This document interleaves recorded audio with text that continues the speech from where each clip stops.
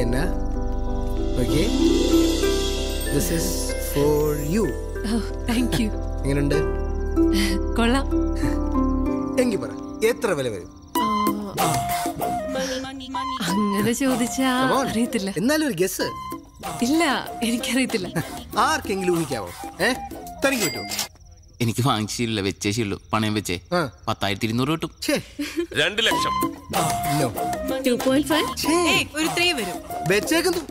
ഇതിനെ നാല് ലക്ഷത്തി മുപ്പത്തി രണ്ടായിരത്തി പതിനഞ്ചായി. ഞാൻ ബാർഗൈൻ ചെയ്തു. അവസാനം എന്നതാ? ട്വന്റി ഫൈവ് ഡിസ്കൗണ്ട് ചെയ്തു. ഞാൻ നമ്മുടെ കുരിയച്ചനെ കൊണ്ട്. നമ്മുടെ കുരിയച്ചനെ. M L A. വിളിച്ചു പറയിച്ചു. പിന്നെ എന്നാന്ന് വെച്ചാ എപ്പ കൊണ്ട് വിറ്റാലും കൊടുക്കുന്ന ദിവസത്തെ മാർക്കറ്റ് വില കിട്ടും. എന്റെ ചായ നമ്മൾ ഈ റിട്ടേൺസ് നോക്കി ഇൻവെസ്റ്റ് ചെയ്യാവൂ. ഈ സാധനം മാർക്കറ്റ് കൊടുത്താൽ കിട്ടും? ഒന്നും കേട്ടില്ല. എന്നതാ? ഇവരെന്റെ ഫ്രണ്ട്സാ ജെറി മാധവ്. അബു. അബു ജെറി മാധവ്. ഇത് ഞാൻ പപ്പു ജോസഫ് താടി എന്നിട്ട് താടിയൊന്നും കാണാറില്ലല്ലോ. കൊണ്ടുവന്നില്ല. അത് നന്നായി. എന്ത് ചെയ്യുന്നു? ഞങ്ങൾ എഫ് എം ആർ ജെ ഓ ശമ്പളമൊക്കെ എങ്ങനെ? മാസത്തിൽ ഒരു നാലിയൊക്കെ വെച്ച് കിട്ടും. അല്ലേ? ആക്ച്വലി ഞങ്ങൾ ഹെലോ എഫ് എമ്മിന് വേണ്ടിയിട്ട് ഒരു ഫണ്ട് റേസിംഗ് ക്യാമ്പയിൻ ചെയ്യുന്നുണ്ട് ആമന കുട്ടിയുടെ ഹാർട്ട് ട്രാൻസ്പ്ലാന്റേഷന് വേണ്ടിയിട്ട്. ആ ഞാനും കേട്ടിരുന്നു എഫ് എമ്മിൽ എപ്പോഴും. നിങ്ങളായിരുന്നല്ലേ? അതെ. അതെ. അപ്പൊ ഇച്ചാൻ ഞങ്ങൾക്ക് കുറച്ച് ഫണ്ട് ഒന്ന് സഹായിക്കാന്ന് പറഞ്ഞിട്ടുണ്ട്. നിങ്ങൾ രണ്ടുപേരും ഇന്ന് തന്നെ എന്തെങ്കിലും നല്ല ഡൊണേഷൻ തരണം. അങ്ങനെയാണെങ്കിൽ നാളെ നിങ്ങളുടെ കല്യാണം ഞങ്ങൾ എഫ് എമ്മിൽ ആഘോഷിക്കും. അതെ. അതിപ്പം എത്ര ഹൈ ഉണ്ടാണെങ്കിലും ഞങ്ങൾ സ്വീകരിക്കും. ഈ പറയുന്ന ആമനക്കുട്ടിക്ക് എത്ര വയസ്സായി? നാല് വയസ്സ്. അയ്യോ എങ്കിൽ ഇതിന് ബുദ്ധിമുട്ടാ. അല്ല നിങ്ങൾ എത്ര പിരിച്ചെടുക്കുന്നത് ഫിഫ്റ്റീൻ ലാക്സ് അയ്യോ എങ്കിൽ ഫിഫ്റ്റീനും പോകാ ഉറപ്പില്ലല്ലോ. എന്റെ ബൂ ഞാൻ പറഞ്ഞിട്ടില്ല. നമ്മൾ റിട്ടേൺസ് നോക്കി ഇൻവെസ്റ്റ് ചെയ്യാം. ഇപ്പൊ തന്നെ ഞാൻ ഇട്ടിരിക്കുന്ന ഈ കോട്ട് ഇത് സിറ്റി മോളിൽ ഇതിന്റെ വില എത്രയാണെന്നറിയോ? അജായ ട്വൽവ് തൗസൻഡ് റുപ്പീസ് ഈ സിറ്റി മോളിൽ നമ്മുടെ ഫാമിലിയുടെ ഒരു വലിയ ബിസിനസ് ഡീൽ ഉണ്ടേ. ആ, ദേ, മനസ്സമ്മതത്തിനിട്ട് റിങ്ങ വില എത്രയാണെന്നറിയോ? പറ പറ. അതെ. പുറത്തെന്റെ ഫ്രണ്ട്സ് താടിക്കാരനെ അല്ല പയ്യനെ പരിചയപ്പെടാൻ വേണ്ടി വെയിറ്റ് ചെയ്യാം. അല്ല നമുക്ക് പിന്നെ സംസാരിക്കാം. പോയിട്ട് വരൂ പ്ലീസ് ഏതാടി പതൂരി. താടി വരുന്നതിന് മുമ്പ് പോവാ വാ.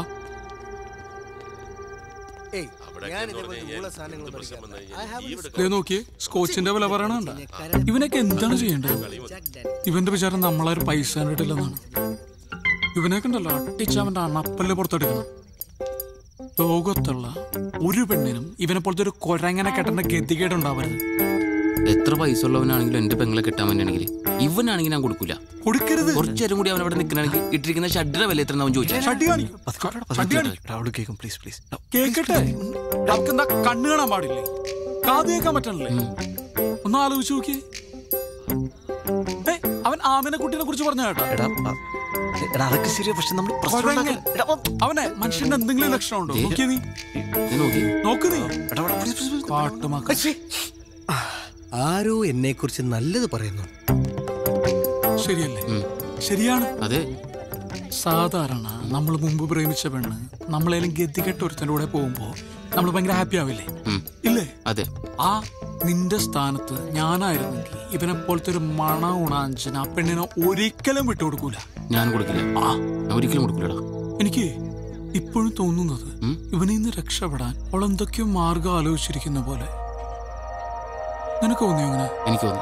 എനിക്ക് തോന്നി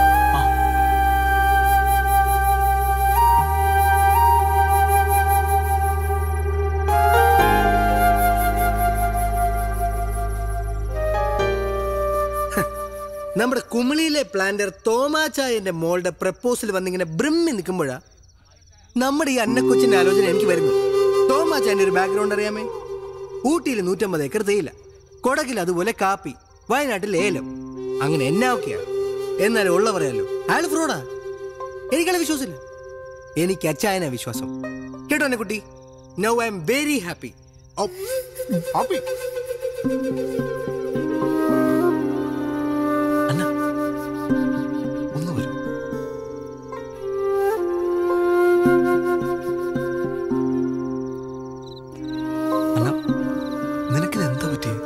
എനിക്കെന്ത് പറ്റാൻ എടിയ താടിക്കാരൻ കിഴങ്ങന്റെ ക്യാരക്ടർ മനസ്സിലാക്കിയിട്ടാണ് നീ കല്യാണം സമ്മതിച്ചത് അതൊന്നും നിന്നെ എല്ലാം പെടുത്തിയതാണ് അയാളുടെ സ്വത്തും പണോ കണ്ടിട്ട്. ജെറി എന്തൊക്കെയാ പറയുന്നേ? ഞാൻ എന്താ പറയുന്നത് നിനക്ക് നന്നായിട്ട് അറിയാം. അതുകൊണ്ട് തന്നെ സീരിയസ് ആയിട്ട് ഞാൻ പറയുന്നത് അയാൾ നിനക്ക് ഒരു മിസ് മാച്ച് ആണ്. It's not your business Jerry. It's not my business I know that പക്ഷെ എന്നാ നമ്മൾ കുറെ കാലം അറ്റ്ലീസ്റ്റ് നമ്മൾ നല്ല ഫ്രണ്ട്സ് ആയിരുന്നില്ലേ? എനിക്ക് നിന്റെ ക്യാരക്ടർ എന്താണ് നീ എന്താണെന്ന് നിന്റെ ആറ്റിറ്റ്യൂഡ് എന്താണെന്ന് ഒക്കെ നന്നായിട്ട് അറിയാം അതുകൊണ്ട് തന്നെ ഞാൻ പറഞ്ഞു നീ ഒരു മോശം ലൈഫിലേക്കല്ല ഒരു വൻ ദുരന്തത്തിലേക്ക് പോകാൻ പിന്നെ ഇതെല്ലാം കൂടെ വെച്ച് നോക്കുമ്പോൾ എനിക്ക് മനസ്സിലായെന്ന് അറിയും? നിന്റെ ഇച്ഛായനം പെട്ടിരിക്കുക. ഇത് നിന്റെ ലൈഫാണ് നിനക്കിഷ്ടമുള്ള നിന്നെ മനസ്സിലാക്കുന്ന ഒരാളോടല്ലേ നീ ജീവിക്കണ്ടേ? പിന്നെന്തിനാ അന്ന് പിരിഞ്ഞ്? അത് ഒന്നിക്കാൻ. ഇവിടെ ഇങ്ങനെ ഒരു സാഹചര്യത്തിൽ ഒന്നിക്കാൻ. ആ പെരട്ട താടിക്കാരനെയും നിന്നെ രക്ഷിക്കുന്നു അന്ന ഇതിന്റെ കോൺസിക്വൻസസ് ഒന്നും ഞാൻ ആലോചിച്ചിട്ടില്ല. നീ എന്നോട് വരുമോന്നല്ല നീ പറഞ്ഞു.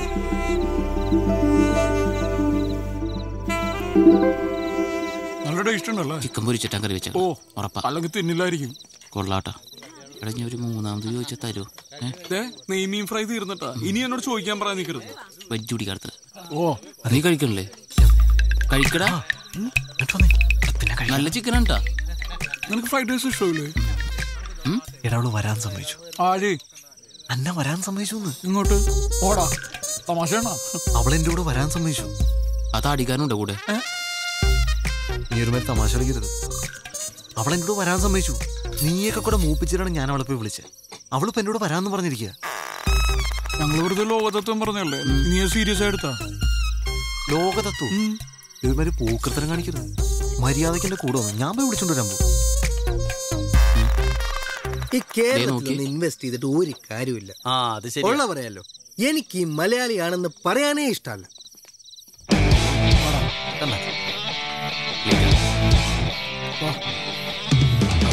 ചേച്ചി ഗിഫ്റ്റ് കൊടുക്കുമ്പോൾ സൂക്ഷിക്കണം അപ്പൊ തന്നെ പൊട്ടിച്ചു വെക്കും. വെറുതെ നാണം കിട്ടുമോ അതെ. നീ ശരിക്കും ആലോചിച്ചിട്ടാണ് ഈ തീരുമാനം എടുത്തത്? അതെ. ആണോ? എന്റെ മനസ്സിന് ശരിയെന്ന് തോന്നുക ഞാനിപ്പോ ചെയ്യുന്നത് ഭയങ്കര തെറ്റായി പോയി ആ വഴി പോ. വേഗം വാ. നമ്മളെ ഇവിടെ കൊണ്ടുപോണോ ഇവിടെ നമ്മളെ കൊണ്ടുപോണോ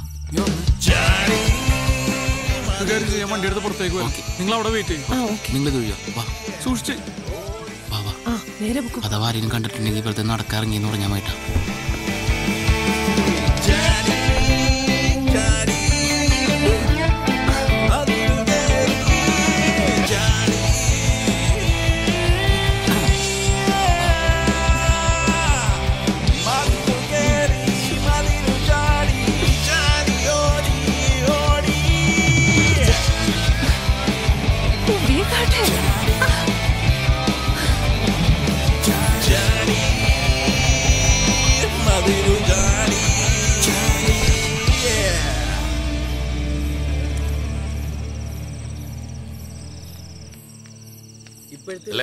ഈ അല്ല നമുക്ക് നാളെ പള്ളിയിൽ കാണണം. എല്ലാവരും ഫാമിലി ആയിട്ട് തന്നെ വരണം. ഓക്കെ വന്നേ?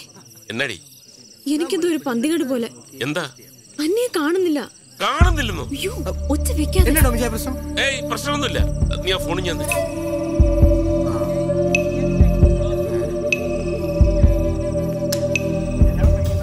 സ്വിച്ച് ഓഫ് ആണല്ലോ. ഒന്നുകൂടി വിളിച്ചു നോക്ക്.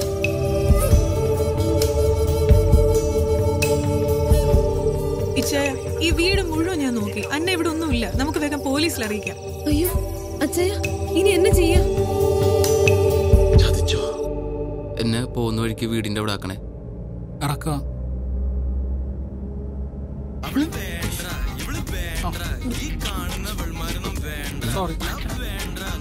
പ്രണയ നിമിഷങ്ങളിൽ ഇറ്റ്സ് മീ ബിജു.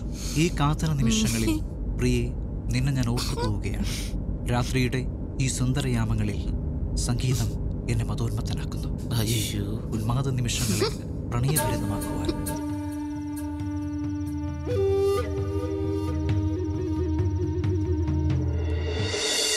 വിജയോ ആ ഇതിനെത്ര വില? നീ ഫിലിപ്പച്ചായനോട് വിളിച്ചു പറ. ആൾക്കാരുമായിട്ട് കോളേജ് ജംഗ്ഷനിലോട്ട് വരാൻ ഗോജായ ആദ്യം നമുക്കൊന്ന് സംസാരിക്കാം. എന്നിട്ട് മതി.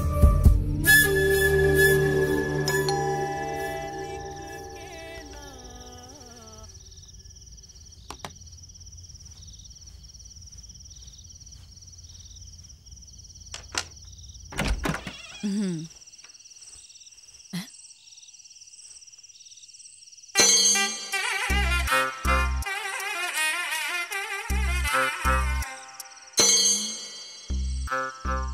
വളരെ പെട്ടെന്നായിരുന്നു. അല്ലേ? കൂടാൻ പോയതാ. കഴിക്കേണ്ടി വന്നു. ഇത് എന്റെ പേര് പ്രിയ. എന്താ? ഇത് അന്ന. എന്താ മാധവ് എന്താ കാര്യം? എല്ലാം കൈവിട്ടു പോയി എനിക്കൊന്നും മനസ്സിലാവണില്ല. അത് അതൊക്കെ പറയാം. ആദ്യം ഞങ്ങൾ അകത്ത് കയറട്ടെ. ചെരുപ്പൊക്കെ ഒന്ന് പുറത്തിടണേ. വിചാരിക്കല്ലേ? കുറച്ച് വൃത്തി കൂടുതലാണെന്നേ ഉള്ളൂ. വരൂ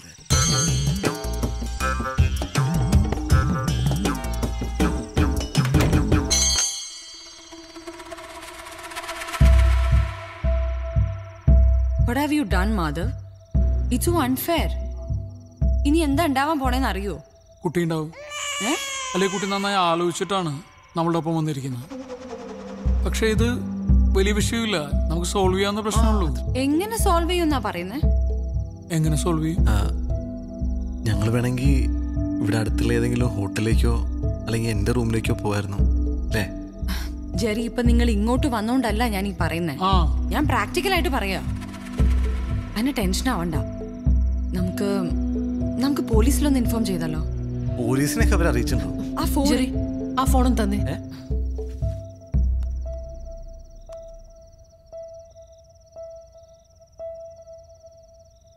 ഹലോ? ഹലോ? ഞാൻ അന്നയാ ഹാ മനസ്സിലായി മനസ്സിലായി. യാത്രയൊക്കെ സുഖമായിരുന്നോ? ബുദ്ധിമുട്ടൊന്നും കൂടാതെ എത്തേണ്ടടുത്ത് എത്തിയല്ലോ അല്ലേ? കൊച്ചു ഒളിമ്പിക്സിന് പോണം കേട്ടോ. ഹൈ ജമ്പിനാണ് ഇന്ത്യയ്ക്ക് ഒരു മെഡൽ ഉറപ്പാണ് എന്നോട് ക്ഷമിക്കണം. എന്തിന്? ഞാൻ ചെയ്തത് തെറ്റാന്നറിയാം. ക്യാരക്ടർ ഇഷ്ടമായില്ലെങ്കിൽ ഞാൻ നേരത്തെ തന്നെ പറയണായിരുന്നു. പക്ഷെ ജീവിതകാലം മുഴുവൻ ഒരുമിച്ച് താമസിക്കേണ്ടവരാകുമ്പോ അയ്യോ മോളെ ഇതിപ്പോ നന്നായെന്നാ ഞാൻ പറയുന്നത് ഇപ്പൊ കുട്ടി മതിലയാടി. അവിടെ തീർന്നു. കെട്ടിക്കഴിഞ്ഞതിന് ശേഷമാണ് കൂട്ടുകാരനെ കണ്ടിരുന്നെങ്കിൽ പിന്നെ അവൻ എന്റെ വീട്ടിലേക്ക് മതിലേടാൻ തുടങ്ങും. എനിക്ക് പിന്നെ ഉറങ്ങാൻ പറ്റൂ സെക്യൂരിറ്റി വെക്കാന്നൊക്കെ പറഞ്ഞാൽ മാസം പത്ത് പതിനായിരം രൂപയുടെ ചെലവാ. ഒരു റിട്ടേൺസ് ഇല്ലാത്ത ഇൻവെസ്റ്റ്മെന്റ് ആണ്. എന്താന്ന് വെച്ചാ? ഈ ബിസിനസ്സിൽ ഞാൻ ഒരു പതിനഞ്ച് ലക്ഷം രൂപ ഇൻവെസ്റ്റ് ചെയ്തിരുന്നു. പറനാറി പിന്നെ കേറ്ററിംഗ് കോസ്റ്റ്യൂംസ് ഓർണമെന്റ്സ് അതിനൊക്കെ പോയി. ആ നെക്ലസ് ഞാൻ അവിടെ തന്നെ വെച്ചിട്ടുണ്ട് അലമാരക്കകത്ത് നാല് ലക്ഷത്തി മുപ്പത്തിരണ്ടായിരത്തി പതിനഞ്ച് രൂപയുടെ. പ്ലസ് ട്വൽവ് പെർസെന്റ് ടാക്സ് ഉണ്ട് കുട്ടി. ഏതായാലും അത് ഞാൻ ഇങ്ങ് എടുത്തിട്ടുണ്ട്. നാളെ തന്നെ അത് ആ ജ്വല്ലറി റിട്ടേൺ ചെയ്യാം. മാർക്കറ്റ് വില കയറി നിൽക്കുന്ന ടൈമാണേ എന്നതാണേലും പതിനഞ്ച് ലക്ഷവും അതിന്റെ nine point nine percent bank അയാളുടെ മോന്ത കിട്ടൊരു കുത്തും കൂടി കൊടുത്തിട്ട് വരായിരുന്നില്ലേ? ഹലോ? ഹലോ? ഹലോ? ഇനിയിപ്പോ പ്രശ്നമൊന്നുമില്ലല്ലോ അല്ലേ? അല്ലേ? ഒരു പ്രശ്നമുണ്ട്. ഇവിടെ ആകെ ഒരു മുറിയുള്ളൂ ആ. മുകളിൽ ഓണറാണ്. ആ പോർഷൻ ഓണർ ആർക്കോ റെന്റിന് കൊടുത്തേക്കുക ആ റൂമിൽ ഇവർ കിടക്കട്ടെ? നമുക്കിവിടെ വിശാലമായ ഹാളല്ലേ? അയ്യോ അത് വേണ്ട. ഞങ്ങൾ ഇവിടെ കിടന്നോളാം. അല്ലേ? അതൊരു കുഴപ്പമില്ലേ? അത് കുഴപ്പമാവും. അതൊക്കെ നമുക്ക് ശരിയാക്കാം. അയ്യോ. ആദ്യം എനിക്കൊന്ന് ഫ്രഷ് ആവണം. ആ മതിലേലെ പൊടിയും എല്ലാം. കുടിയല്ലേ?